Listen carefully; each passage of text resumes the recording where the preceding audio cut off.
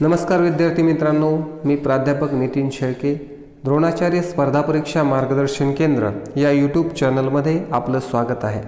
मित्रांनो आजच्या व्हिडिओमध्ये आपण महाटेट दोन हजार अठरा यातील पेपर एकमधील इंग्लिशच्या प्रश्नांचे स्पष्टीकरणासहित उत्तरे अभ्यासणार आहोत. येणाऱ्या टी ई टी परीक्षेसाठी मागील टी ई टीच्या प्रश्नपत्रिकांचे स्पष्टीकरण आणि प्रश्नांचा पूर्णपणे अंदाज असणे अतिशय आवश्यक आहे. या दृष्टीने आपण दोन हजार अठरा साली इंग्लिश या विषयावर कोणते प्रश्न विचारले होते आणि त्याचे स्पष्टीकरणासहित उत्तरे आजच्या व्हिडिओमध्ये अभ्यासणार आहोत. चला तर मग व्हिडिओला सुरुवात करूया. सुरुवात करण्यापूर्वी जर तुम्ही आमच्या चॅनलला सबस्क्राईब केलं नसेल तर सबस्क्राईब करा. बेल आयकॉन दाबा म्हणजे पुढील व्हिडिओ आपल्याला समजतील. चला तर मग व्हिडिओला सुरुवात करूया. दोन हजार अठरा पेपर एक महाटेट परीक्षेमधील पहिला प्रश्न विचारलेला होता. Choose the correct synonym of the placid placid या शब्दाचा सिनोनिम आपल्याला सांगायचा आहे. प्लासिड या शब्दाचा सिनोनिम तर प्लासिड हा वर्ड आहे. प्लासिड या शब्दाचा अर्थ होतो शांत. तर शांत अर्थाचा इथं क्लिअर नाही डल नाही एन्जॉयबल नाही तर काल्म हे त्याचं उत्तर बरोबर आहे. म्हणून या प्रश्नाचं उत्तर येईल आपल्याला काल्म नेक्स्ट क्वेश्चनकडे जायचं आहे आपल्याला. पुढचा प्रश्न आहे. Identify which part of the sentence has an error म्हणजे यामध्ये आपल्याला काय शोधायला सांगितलेले आहे? एरर कुठे आहे? कोणत्या भागामध्ये चूक आहे? तर चूक कोणत्या भागामध्ये ते अभ्यासूया आपण. तर यामध्ये people who are averse with averse with hard work generally do not succeed in life म्हणजे अशी लोक आहेत जे हार्डवर्कपासून परावृत्त होतात किंवा ज्यांना हार्डवर्क आवडत नाही. तर या ठिकाणी यामध्ये एरर जेव्हा आपण पूर्ण वाक्य वाचलं तेव्हा लक्षात येतं की ॲवर्स विथ नाही तर ॲवर्स विथ ऐवजी ॲवर्स टू अशी इथे फ्रेज असायला पाहिजे. म्हणजेच कामाचा कंटाळ असणे हार्डवर्क न आवडणे. People who are averse to hard work असं उत्तर पाहिजे. म्हणजेच आपल्या ऑप्शन ए मध्ये चूक आहे. मग ए पर्याय कुठे आहे? बऱ्याच वेळा आपण ए म्हणलं की एक नंबर लिहून टाकतो. परंतु ए पर्याय या ठिकाणी तीन नंबरच्या ऑप्शनमध्ये दिलेला आहे. आणि म्हणून याचं उत्तर येईल आपलं तीन ऑप्शन क्रमांक तीन. नेक्स्ट क्वेश्चनकडे जायचं आहे आपल्याला. पुढचा प्रश्न आहे. Choose the correct passive form of the given sentence दिलेल्या सेंटेन्सचा आपल्याला पॅसिव फॉर्म सांगायचा आहे. सेंटेन्स दिलेला आहे it feels it feels a global knowledge gap आता या वाक्याचा आपल्याला पॅसिव्हची रचना पाहिजे आहे. आता ॲक्टिव्ह व्हायची रचना आपल्या सगळ्यांना माहिती आहे. सब्जेक्ट वर्ब आणि ऑब्जेक्ट हे झालं ॲक्टिव्हचं सेंटेन्स याची पॅसिव्हची रचना पण आपण सहज सर्वांनाच माहिती असेल. ऑब्जेक्ट प्लस त्यानंतर घ्यायचं असतं आपल्याला टू बीचे रूप. नंतर असते क्रियापदाचे तिसरे रूप. प्लस बाय आणि प्लस सब्जेक्ट ही अशी रचना आहे. तर यामध्ये या पद्धतीने ऑब्जेक्ट तर या पद्धतीने कुठे दिसते तर ऑप पर्याय क्रमांक तीन. यामध्ये पहिल्यांदा ऑब्जेक्ट नंतर इज टू बी सुरू फिल्ड बाय एट म्हणजे ऑप्शन क्रमांक तीन. हे आपलं क्लिअर उत्तर राहील. Global knowledge gap is filled by it अतिशय सोपा प्रश्न पॅसिव्ह व्हॉईसवर विचारलेला. यामुळे आपल्याला या परीक्षेतही पॅसिव्ह व्हॉईसकडे लक्ष द्यायचं आहे. नेक्स्ट क्वेश्चन आहे तो म्हणजे डायरेक्ट आणि indirect स्पीचवरती choose the correct alternative for the given direct speech म्हणजे दिलेलं जे डायरेक्ट स्पीचचं आहे याचं आपल्याला इनडायरेक्ट स्पीचमध्ये रूपांतर करायचं आहे. तर I said to Vedant what does it mean what does it mean हा कोणत्या प्रकारचं? तर डब्ल्यू एच क्वेश्चन दिलेला आहे. डब्ल्यू एच क्वेश्चनचं इनडायरेक्ट करणे अशा प्रकारचा प्रश्न आहे. तर यामध्ये पहा आय सेट टू वेदांत अवतरण चिन्हात प्रश्न आहे म्हणून आपण आय आस्क वेदांत आणि डब्ल्यू एच क्वेश्चन असलं की दॅटच्या जागेवर बरोबर W H word what it meant म्हणून याचं उत्तर आपल्याला घ्यायचं आहे ऑप्शन क्रमांक दोन I ask Vedant what it meant next question जो विचारलेला आहे choose an option giving the comparative degree of the given डिग्रीवरती question आहे. कम्पॅरेटिव्ह डिग्री आपल्याला विचारलेलं आहे. गिवनची कोणती डिग्री पाहिजे आपल्याला? कम्पॅरेटिव्ह अगोदर आपल्याला काय विचारलं याच्याकडे पूर्ण लक्ष दिले की प्रश्नाचे उत्तर आपण बरोबर सांगू शकतो. Sachin Tendulkar is the best batsman in India the best दिलेलं वाक्य सुपरलेटिव्ह डिग्री आहे आणि याची आपल्याला कम्पॅरेटिव्ह डिग्री सांगायची आहे. तर मित्रांनो जेव्हा सुपरलेटिव्ह डिग्रीवरून कम्पॅरेटिव्ह डिग्री आपल्याला सांगायची असते तेव्हा बऱ्याच वेळा काय होतं पहा की द बेस्टची जेव्हा रचना असते द बेस्ट तेव्हा आपण याच्या याची कम्पॅरेटिव्ह करताना काय करणार आहे? कम बेटर म्हणजेच विशेषणाचं दुसरं रूप घेणार. बेटर प्लस दॅन आणि द आहे म्हणून एनी ऑदर एनी ऑदर अशी रचना असते. आणि याचीच पॉझिटिव्हला कशी रचना असते? स्टार्ट विथ नो ऑदरने रचना स्टार्ट केलेली असते नो ऑदर तर आपल्याला दने जेव्हा जेव्हा सुपरलेटिव्ह असेल तेव्हा कम्पॅरेटिव्ह करताना दॅन एनी ऑदर अशा प्रकारची रचना असते. हा ही रचना या प्रश्नामध्ये कुठे दिसते पहा. Sachin Tendulkar is better than any other या ठिकाणी योग्य पद्धतीने दिलेलं आहे. म्हणून या प्रश्नाचं उत्तर येईल ऑप्शन क्रमांक तीन. Sachin Tendulkar is better than any other batsman in India next क्वेश्चनकडे जायचं आहे चूज द प्रॉपर आर्टिकल्स खूप सोपा प्रश्न आहे. आर्टिकलला प्रत्येक परीक्षेला प्रश्न येतोच. यामध्ये देखील विचारलेला आहे. It must be magic fish the fish will grant your wish आता या ठिकाणी मॅजिक फिश आणि या ठिकाणी परत फिश हा शब्द आलेला आहे. एकाच नामाचं जर पुन्हा पुन्हा वापर होत असेल तर त्याच्या पहिल्या वापरापूर्वी आपण अ किंवा ॲन नंतरच्या वापरापूर्वी द. फिशचा इथं पुन्हा वापर केलेला आहे. म्हणून दुसऱ्या ठिकाणी आपलं उत्तर येणार द. कारण ते डेफिनेट झालेलं आहे. मग it must be a magic fish करण्याची स्टार्ट आहे कॉन्सोनंटने म्हणून आपला पर्याय क्रमांक चार it must be a magic fish the fish will grant your wish next question जो विचारला आहे आपल्याला परीक्षेसाठी अतिशय सोपा हा जो पॉईंट आहे परीक्षेला विचारणारा हा अतिशय कमी कष्टामध्ये मार्क्स मिळवणारा पॉईंट आहे. तर इथं कॅमल ग्रंट कॅमल आणि त्याचं पुढे दिले ग्रंट म्हणजे कॅमलचा ग्रंटशी जसा संबंध आहे तसा एलिफंटचा कशाशी आहे? तर हा प्रश्न कसा आहे? कॅमल ग्रंट म्हणजे कॅमलचा जो आवाज आहे व्हॉइस आहे क्राईज ऑफ ॲनिमल्स यामधील हा प्रश्न आहे. कॅमलच्या आवाजाला आपण ग्रंट म्हणतो. तर एलिफंटच्या आवाजाला काय म्हणतो? तर एलिफंट याचं आपल्या सर्वांना माहीत असलेलं सोपं उत्तर आहे trumpet. Camel grunt elephant trumpet हा एक छोटासा पॉईंट आहे एक दहा ते पंधरा मिनटामध्ये. याच्यात सगळे प्रश्न आपले सोडवून होतात. असा सोप्या प्रश्नावर कंपल्सरी आपल्याला टी ई टीला प्रश्न येतो. म्हणून याचं उत्तर घेऊया आपण. ऑप्शन क्रमांक तीन trumpet next question choose the correct antonym of the word of the given word provoke antonym सांगायचं आहे विरुद्ध अर्थाचा शब्द सांगायचा आहे. आता प्रहोक प्रहोक या शब्दाच्या विरुद्ध आहे. प्रहोकचा अर्थ होतो काय करणे? चिडवणे किंवा चिथावणी देणे. चिथावणी देणे. या पद्धतीचा प्रश्न आहे. तर चिथावणी देण्यासाठी आपण काय म्हणूया? त्याच्या विरुद्ध म्हणजे शांत करणे. Choose the correct antonym of given word provoke चिथावणी देणे आणि मग पॅसिफाय हे त्याच्या विरुद्ध आहे. तर पॅसिफाय म्हणजे काय करणे? शांत करणे. म्हणून याचं उत्तर आपल्याला घ्यायचं आहे पॅसिफाय नेक्स्ट क्वेश्चनकडे जायचं आपल्याला. पुढचा प्रश्न जो विचारलेला आहे find out phrase which can correctly substitute the underline part of the sentence आता या ठिकाणी जो हॉट हेड हा शब्द दिला आहे hot head is always a loser in life hot हेडवाले नेहमी आयुष्यात लूजर असतात हरणारे असतात. आता हॉट हेड म्हणजे आपण काय म्हणूया? गरम डोक्याचा. म्हणजे रागीत तर त्याला आपण टॉप नाही म्हणणार आहे. त्यानंतर टेलिंग लाय पण नाही आहे. इरेग्युलर पण नाही. तर त्याचं करेक्ट आन्सर आहे रॅश पर्सन. म्हणून आपण म्हणूया हॉट हेड याला कुठला शब्द रिप्लेस होईल? की rash person. Next question choose the correct alternative I solve a problem that dash was very difficult आता या ठिकाणी आपल्याला हू हुम विच हुम यापैकी एक शब्द वापरायचा आहे. तर आपण या ठिकाणी प्रॉब्लेम हा जो नाऊन दिलेला आहे या ठिकाणी याच्यासाठी प्रोनाऊन यूज करायचा आहे.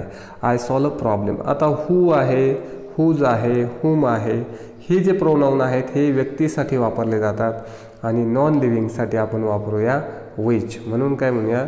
I solve a problem which was very difficult मी तो प्रॉब्लेम सोडवला जो खूप अवघड होता. म्हणून याचं उत्तर आपल्याला येईल option three which next question choose the mismatch pair from the following खूप सोपा आणि तितकाच फसवा प्रश्न आहे mismatch pair of the following mismatch म्हणजे काय म्हणूया आपण? चुकीची जोडी ओळखायची आहे. यामध्ये आपल्याला पर्याय आहेत goose geese ship ships live lives deer आणि डिअर या ठिकाणी वाचल्यावर लक्षात आलं असेल it is a plural and singular singular आणि प्लुरलच्या जोड्या आहेत. तर गुज म्हणजे हंस आणि त्याचा अनेक वचन गीज हे बरोबर आहे. लाईफ लाईव्ह हे देखील बरोबर आहे. डिअर डिअर हे देखील बरोबर आहे.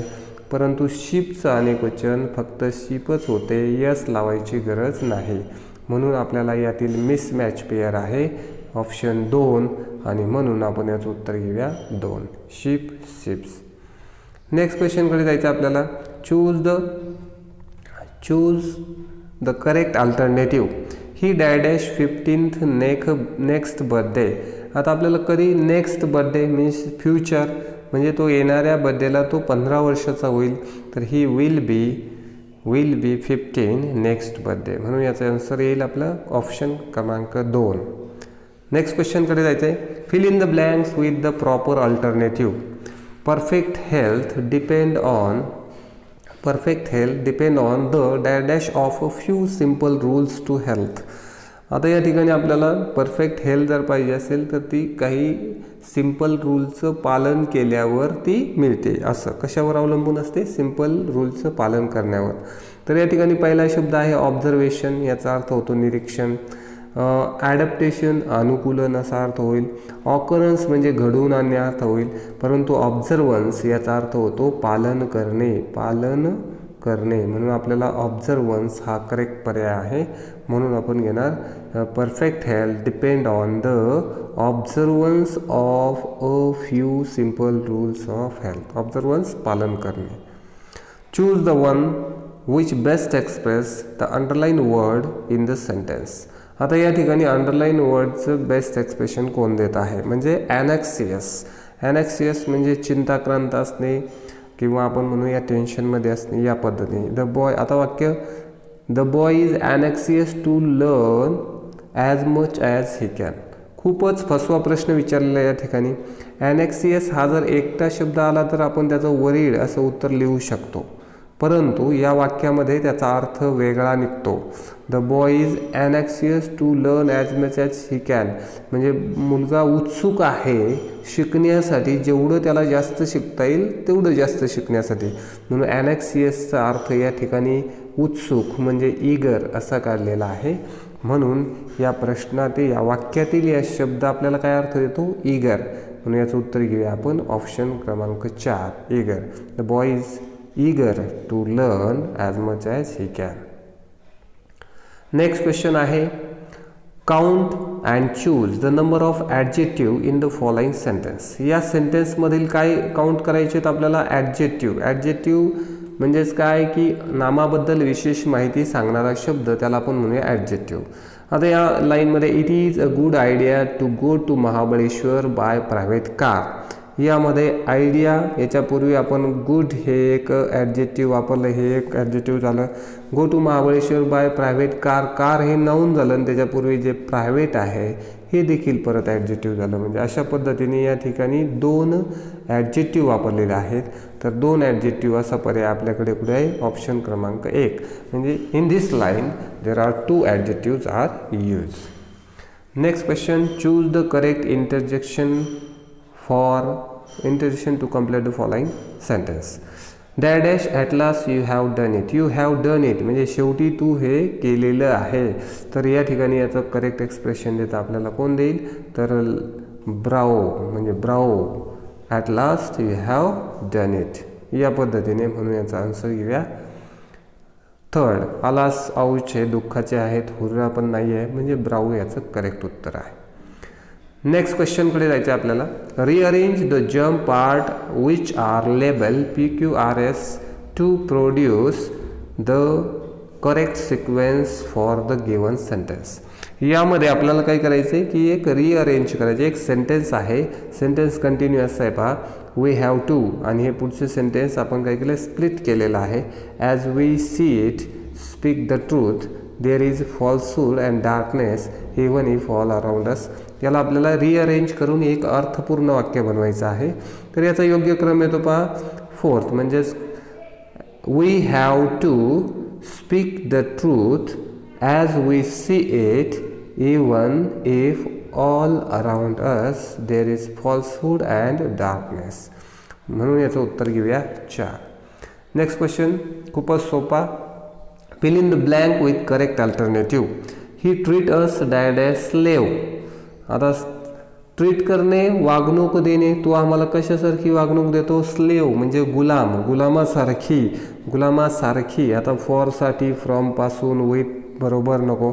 लाईक म्हणजे सारखी. मग या ठिकाणी आपल्याला योग्य ऑप्शन येतो एक. He treat us like slave next क्वेश्चनकडे जायचं आपल्याला. पुढचा प्रश्न आहे find out which part of the sentence has an error again एररवरती question विचारला आहे चूक शोधा असं म्हटलेलं आहे. I will put on a note in this regard for your consideration and necessary decision तर आता आपल्याला सांगायचं आहे की मी एक नोट ठेवतो तुझ्यासाठी नोट ठेवणे. तर पुट ऑनचा अर्थ काय होतो? पुट ऑन म्हणजे परिधान करणे. तर आपल्याला ऑनची गरज नाही आहे म्हणजे असं पाहिजे की I will put a note in this regard म्हणजे एरर आपल्याला मिळते फर्स्ट ऑप्शनमध्ये आणि तो नेमका तिसऱ्यामध्ये दिलेला आहे. एमध्ये चूक परंतु ए हे कशामध्ये? ऑप्शन क्रमांक तीनमध्ये next question choose the most suitable one word for the given expression one word अनेक शब्दाबद्दल एक शब्द सांगायचा आहे.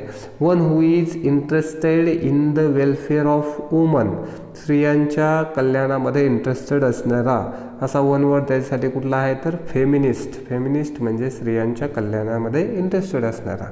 तर याचा आन्सर येईल फेमिनिस्ट नेक्स्ट क्वेश्चनकडे जायचं आहे चूज द करेक्ट अल्टरनेटिव्ह दोन क्वेश्चन दिले दोन सेंटेन्स दिलेले आहेत. Keats and Byron are romantic poets but I prefer the latter she come to school later than I. यामध्ये आपल्याला कोणतं वाक्य बरोबर आहे? Only one is correct both one and two are not correct both one and two are correct and only second is correct असं आपल्याला उत्तर द्यायचं आहे.